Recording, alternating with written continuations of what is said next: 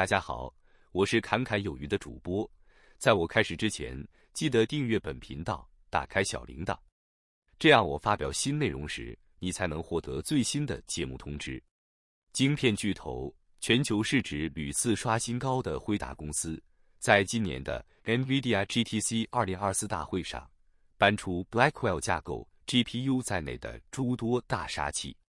辉达执行长黄仁勋当时透露，辉达的机会不在于 GPU，而是数据中心。他此前提到，其最新产品 Blackwell 晶片的定价范围是三万至四万美元，新架构的研发大约花费一百亿美元。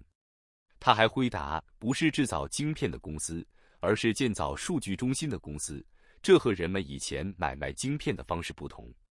辉达的机会不在于 GPU。很多公司都在制造 GPU，他们正在开拓数据中心市场，这一全球市场每年规模约两千五百亿美元。然而，GPU 已容纳不下辉达的野心，它有更加宏大的目标。黄仁勋指出，这两千五百亿美元正迅速转向加速运算和生成式人工智慧，并以每年百分之二十至百分之二十五的速度增长。辉达在数据中心市场获得的份额会高于其他晶片制造商，一兆至两兆美元是合理的区间，这取决于使用的时间框架。去年在纽约会议上，黄仁勋说，AGI 将在五年内到来，但今年的 Blackwell 如此强大，日前有人质疑他是否仍然坚持这个时间表，甚至有人说他是当代的奥本海默。不过，黄仁勋则否认了当代奥本海默的说法，其表示，Oppenheimer was building a bomb. We're not doing. 他认为应当先具体定义 AGI，才知道什么程度算到达 AGI，以及什么时候到达。如果他们将 AGI 定义的非常具体，即一个软体程式能够在一系列测试中表现非常出色，或比大多数人好百分之八。他相信将在五年内实现这一目标。黄仁勋补充道：“这些测试可以是法律考试、逻辑测试、经济考试、医学预科测试等。这一切取决于目标是什么。”此前，他提到一些行业现迎来 ChatGPT 时刻。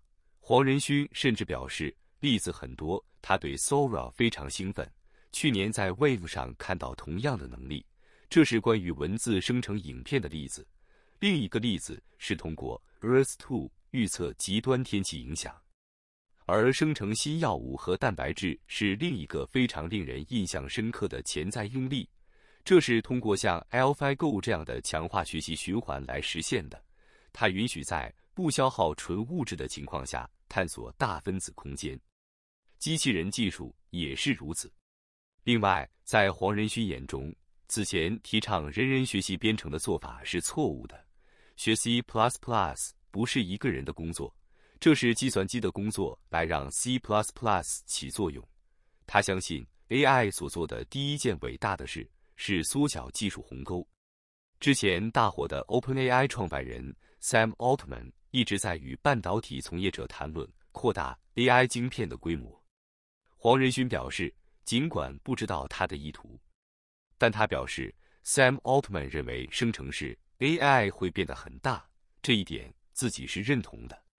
今天，计算机产生画素的方式是从数据集中检索数据、处理数据、传递数据，整个过程中，人们或许以为需要消耗的能源非常少，但恰恰相反，当你每次触摸手机，每个提示需要与数据集赛跑并返回，从数据集中检索数据。使用 CPU 收集所有必要的部分，然后以一种从推荐系统的角度看有意义的方式组合讯息，将结果讯息发送回用户。这个过程需要大量的运算。将来越来越多的运算将是生成的，而不是检索的。这个生成过程必须是智慧的，与上下文相关的。他相信未来人们电脑上的几乎每一个画素，每一次交互。都将通过生成过程产生，他相信 Sam 也这么认为。黄仁勋说：“希望通过 Blackwell 新一代架构，能为生成式 AI 这个领域做出重大贡献。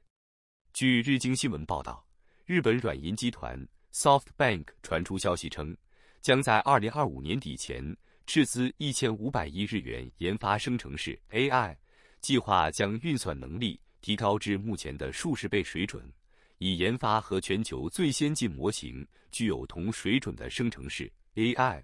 所需的 GPU 晶片将会向辉达采购。报道指出，软银已在二零二三年投入二百亿日元建制算力基础设施，二零二四年至二零二五年期间计划追加投资一千五百亿日元。软银对算力基础设施的投资额，据悉将创日本企业史上最大规模，而所需的 GPU 将向辉达采购，且采购的。GPU 除了用于软银自家研发生成式 AI 外，也考虑租借给外部企业。软银正着手研发作为生成式 AI 基础的大型语言模型 LLM，预估将在2024年度内完成具备3900亿个参数 parameter 的模型，且将在2025年开始研发日语专用参数规模达一兆个的高效能模型。一兆个参数已成为具备世界级效能的指标。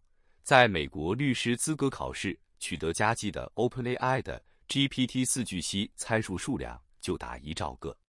目前在大模型的效能、投资额上，OpenAI 等美国科技巨头居于领先地位。日本企业中，NTT、NEC 等业者虽有研发，但是模型参数数量仅数十亿至数百亿个。